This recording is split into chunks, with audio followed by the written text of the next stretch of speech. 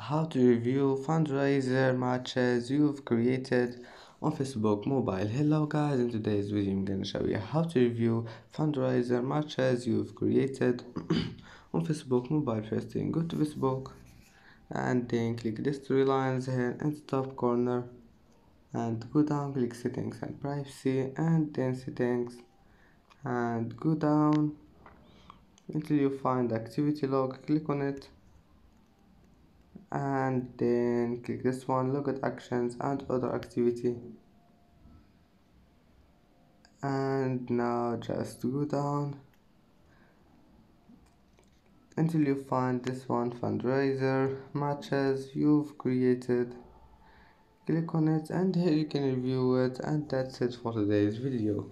If you like this video please don't forget to like and subscribe and see you in the next video